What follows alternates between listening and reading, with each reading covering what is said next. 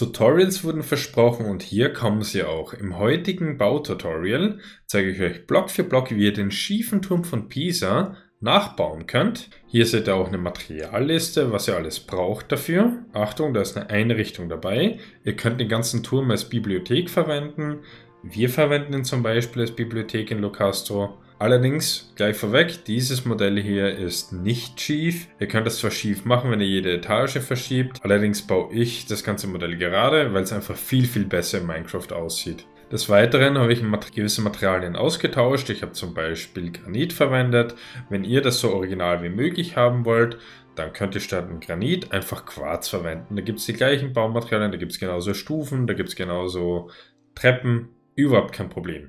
Und jetzt starten wir ins Tutorial rein. Es gibt zwei Säulenkränze. Der äußere Säulenkranz ist sieben Blöcke hoch, danach beginnen die Bögen und der innere Säulenkranz ist sechs Blöcke hoch und danach beginnen die Bögen. Ich überspringe das auch ganz kurz, es ist immer das gleiche, die Säulen werden alle gleich hoch außen und innen halt eben auch. Die Bögen werden mit Treppen und Stufen gebaut, ich zeige euch das ganz kurz. Das ist nämlich nicht so einfach, wenn ein Kreis gebaut wird, es ist auch nicht symmetrisch, es würde sich nicht ausgehen, wenn es symmetrisch wäre. Deshalb ist jede Ecke davon etwas anders. Ich zeige es euch hier vor. Einfach nachbauen und dann funktioniert das schon.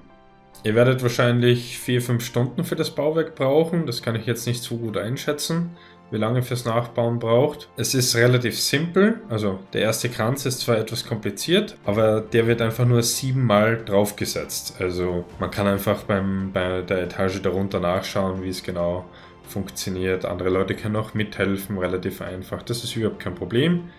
Wichtig ist nur der Anfang und der Schluss. Viele wissen gar nicht, dass der schiefe von Pisa ein mittelalterliches Bauwerk ist, deshalb stellen wir ihn auch in unsere mittelalterliche Stadt rein. Romanische Baukunst ist einfach der Hammer.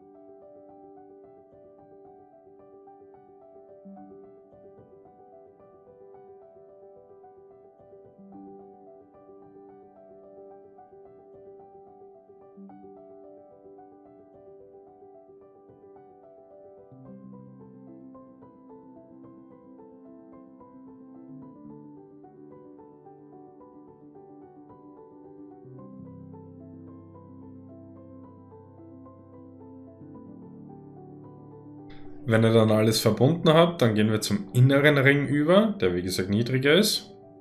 Ist aber das gleiche Prinzip, funktioniert auch gleich wunderbar.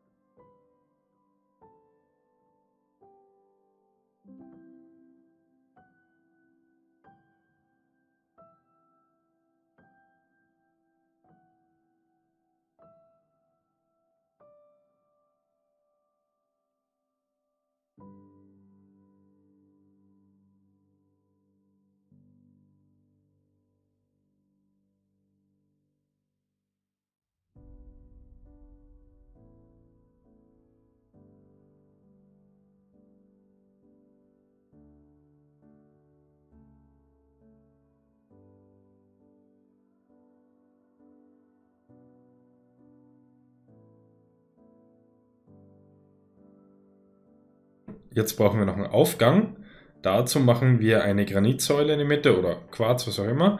Und nehmen Stufen, glatte Stufen eignet sich hervorragend dafür. Da nehme ich, das ist eines der wenigen Sachen, die hier aus Quarz sind. Und baue mit dem hier die gleiche Wendeltreppe, wie ich sie sonst auch immer baue. Ich habe die vor Jahren erfunden, sage ich jetzt mal, und habe die seitdem in fast jedem Bauwerk verwendet. An der Stelle kleiner Bautipp, baut das bei schrägen Häusern also baut bei schrägen Häusern immer sowas. Eine, eine normale Treppe ist sowieso recht schwierig zu bauen bei großen Bauwerken und gerade, gerade wenn es jetzt wenn es jetzt schräge Texturen gibt, wenn man ein rundes Gebäude baut, dann ist eine Treppe wirklich extrem schwierig. Also natürlich kann jeder eine Treppe reinbauen, aber eine Treppe zu bauen, die gut aussieht, das ist schon... Ich krieg's nicht hin bei schrägen Gebäuden. Deshalb Wendeltreppe sieht immer gut aus, ist auch super praktisch, braucht wenig Platz, äh, einfach zu bauen. Mehr Gründe braucht es, glaube ich, nicht. Ihr seht auch nebenbei, wird da der Palast auch zeitgleich gebaut von den anderen Leuten. Wir haben dann den Ring abgeschlossen und platzieren darauf, also der letzte Block, dort, dort wo die Bögen gemacht werden, ist aus normalem Granit, nicht polierten Granit, so habe ich das gemacht. Könnt ihr machen, wie ihr wollt. Darauf wird dann aber eine Schicht normales Diorit gesetzt. Also nicht poliert, sondern normales Diorit. Und dann darauf wieder Granit. Immer abwechselnd Granit, Diorit, Granit, Diorit. Und ich verwende polierten Granit oder polierten Diorit verwende ich deshalb eben nicht, sondern das normale, weil ähm, das normale hat keine Textur und das finde ich sehr schön. Ich finde, wenn man eine Säule hat und man hat dann so eine Blocktextur, das sieht nicht so gut aus. Ähm, das macht es aber gerade recht schwierig äh, für euch, das nachzubauen, weil ähm, naja, man kann halt nicht so gut nachschauen, wie hoch etwas ist. Also hier ist es einfach, weil es immer so ein Streifenmuster ist aber deshalb sage ich es eben dazu. Die Diorit-Säulen, die zum Beispiel in der nächsten Etage draufkommen, die sind sechs Blöcke hoch.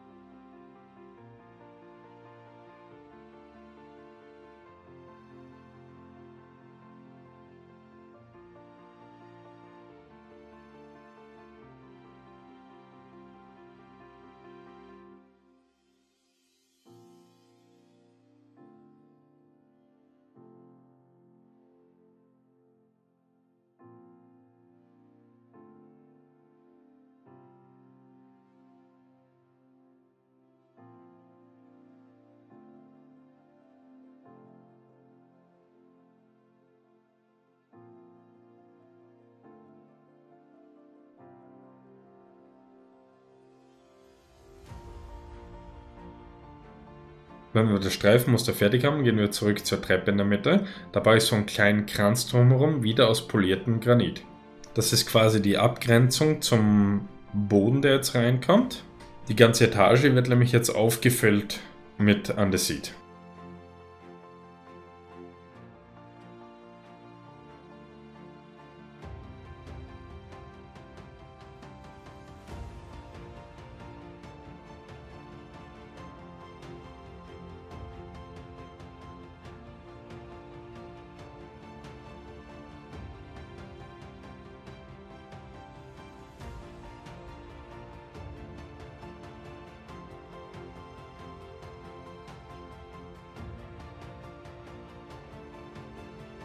Auf der Außenseite kommt dann noch ein Muster dran. Das sind abwechselnd Treppen. Aufpassen, in welche Richtung ihr die platziert. Ich zeige es eh wieder vor. Und äh, Mauern dazu. Also normale Granitmauern. Gibt leider noch keine polierten und polierte Treppen. Das ist ein recht, recht nettes Muster. Darauf wird dann eine Granitstufe platziert. Und darüber auch nochmal eine Stufe und ein Block. Alles, alles poliert. Und dann haben wir auch den ersten Layer schon abgeschlossen. Ich zeige euch das ganz kurz, wie das eben aussieht. Einfach nachmachen, Block für Block.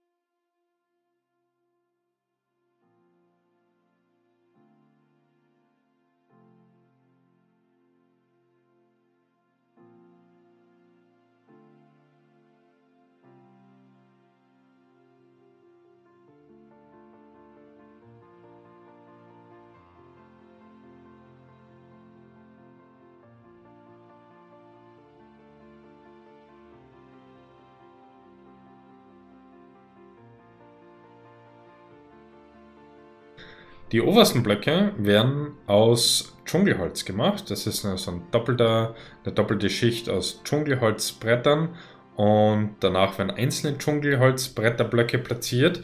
Äh, falls ihr euch fragt, wie ich die angeordnet habe, die sind genauso angeordnet, wie die Säulen unterhalb angeordnet sind, aber auf der, Außer äh, auf der äußeren Seite. Das ist, glaube ich, eh logisch, auf der äußeren Seite. Und den Ring, den ich dann mit Granit ziehe, der ist genau gleich wie äh, die darunterliegende Etage, also von der Form. Ich hätte auch das einfach ein bisschen höher ziehen können. Dann hättet ihr automatisch die Vorlage. Wenn nicht, dann müsst ihr es halt so machen wie ich. Einfach ist es, wenn es gleich direkt hochzieht, dann habt ihr die Grundfläche. Die, die Grundfläche bleibt immer gleich bis ganz oben.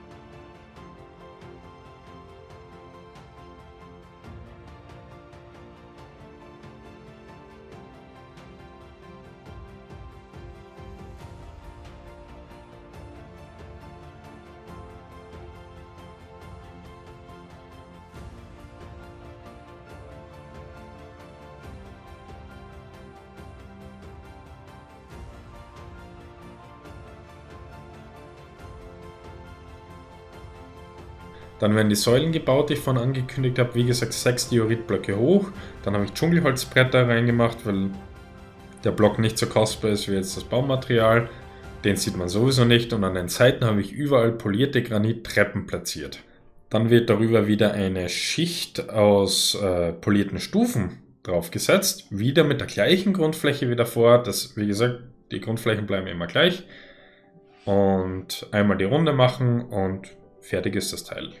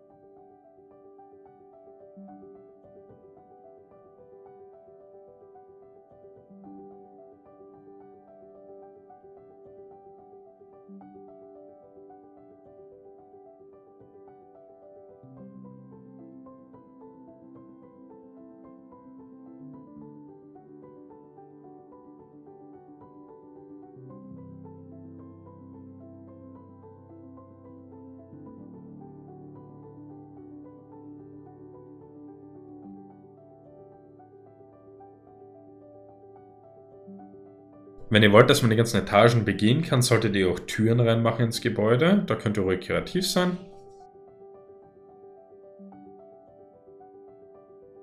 Wenn ihr keine Inneneinrichtung wollt, dann könnt ihr die nächsten paar Minuten kurz kippen. Ich zeige nämlich nur ganz kurz, wie wir das einrichten. Wir nehmen dafür Holzblöcke, Holzstämme, hauptsächlich Fichtenholz, also eigentlich nur Fichtenholz, machen daraus Stämme, Bücherregale und Treppen.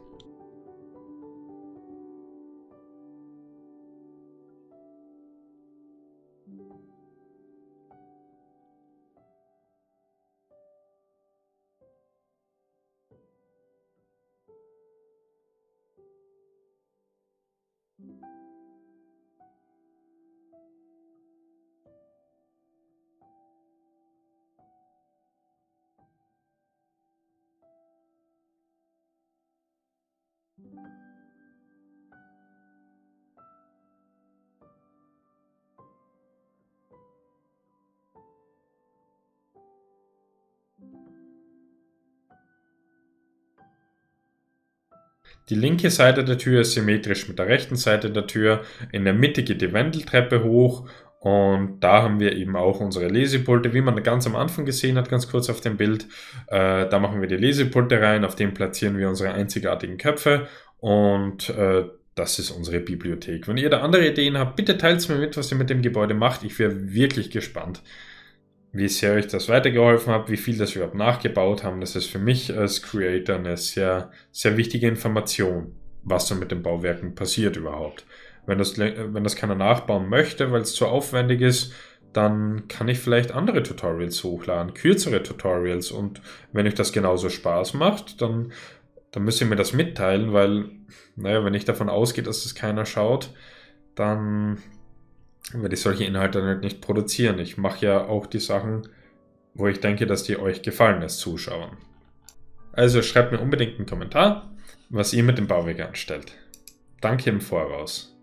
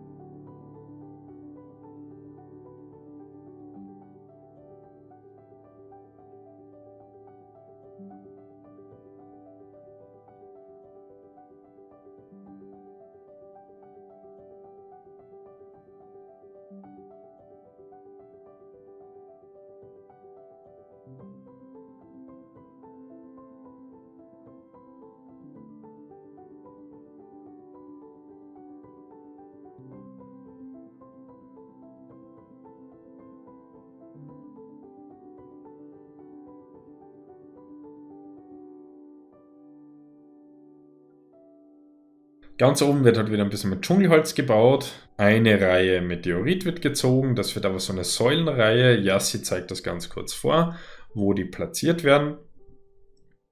Und auf der Außenseite werden jede Menge Dracheneier platziert. Das muss ich glaube ich nicht extra erklären. Jeder zweite Block ist ein Drachenei. Und die Blöcke, die übrig bleiben, da kommt einmal eine Granitmauer hin und darauf wird ein Holzstamm, also ein Holzzaun platziert. Und das ergibt dann halt eben da das, den, den Kranz oben, das markante Muster. Finde ich sehr schön. Bin ich wirklich stolz drauf. Was meint ihr dann dazu?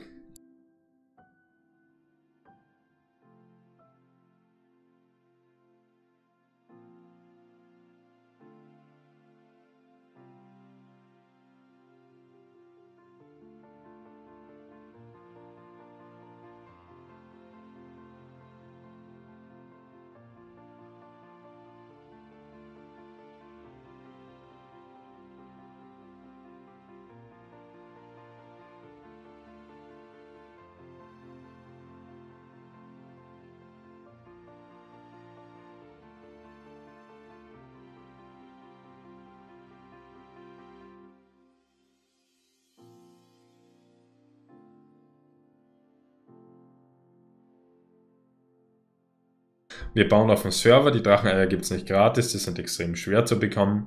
Man muss einen Wettbewerb äh, dafür gewinnen und wenn man so viele Dracheneier wie wir hier haben möchte, dann muss man, also das schafft ein Spieler gar nicht, dass man so viele auftreiben kann oder so viele gewinnen kann. Man muss halt wirklich aktiv von Leuten, die etwas gewinnen, immer die Dracheneier kaufen. Es ist ein kosmetischer Block, mehr oder weniger. Und wenn jemand was gewinnt, dann kriegt er gleich ein Kaufangebot von mir. Und so haben wir es geschafft, dass wir so viele Dracheneier zusammenbekommen. Und es ging sich nicht mal aus, wir hatten sogar zu wenig Dracheneier dafür. Also beim Palast fehlt halt eine ganze Reihe an Dracheneiern. Die Säulen, die er sie vorhin vorgezogen hat, werden dann auch noch höher gemacht. Immer abwechselnd Granit und Diorit.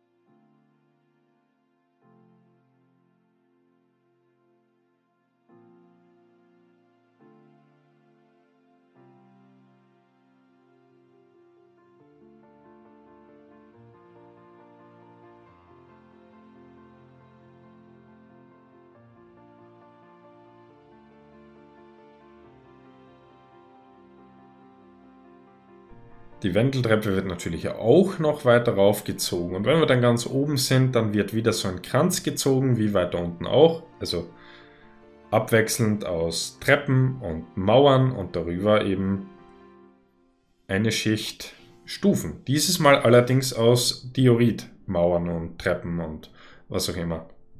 Nicht wie vorhin mit Granit.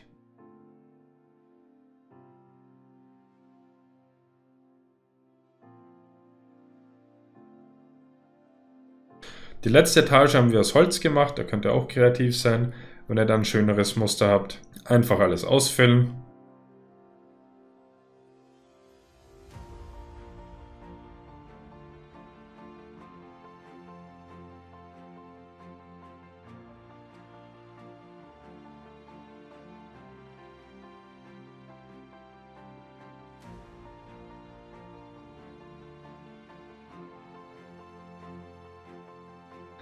Dann oben ein Geländer machen. Dazu auf jeden zweiten Block, also entweder auf jede Mauer oder auf jeden